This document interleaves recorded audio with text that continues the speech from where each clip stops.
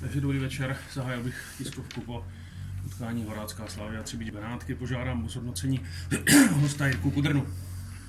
Tak my jsme dneska přivezli k utkání Třebíči 13 juniorů a, a musím říct, že dneska jsme tady podali fantastický výkon týmový a, a kluci, kluci opravdu dneska tady hráli skvělý utkání a musím říct, že proti silný Třebíči, který, která má doma výborné výsledky, o to víc vlastně tohle vítězství tady ceníme a opravdu dneska máme slova chvály. Jsme rádi, že jsme navázali na, na výkon, na výkon uh, proti Ústí a musím říct, že, že dneska odjíždíme opravdu velice spokojeně a celý tým v čele s brankářem Žajdlíkem zaslouží velikou pochvalu.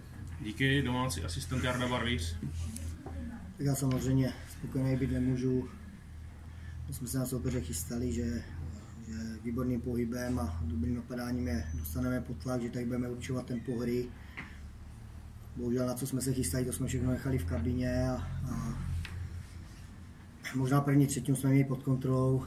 Bohužel jsme střelili jeden gól, ale jinak potom jsme tu půdu ztráceli pod nohama, chvílkama byl soupeř lepší. Neměli jsme osobní souboje, měli jsme horší pohyb a v třetí třetině v posledních dvou, třech minutách jsme udělali tam individuální chybu a asi jsou dneska zaslouženě eh, soupeř bere tři body.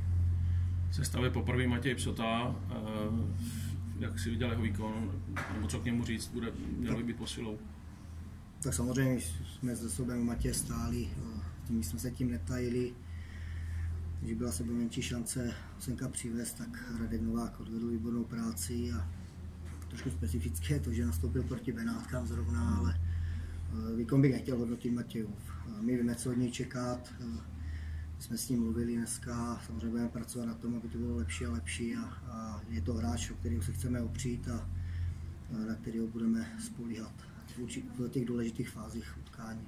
No pak v sestavě chyběl Silva Kusko, co se stalo? Silva Kusko má antibiotika. Díky. Nastoupit. Díky dotazy nejsou. Pánové, díky.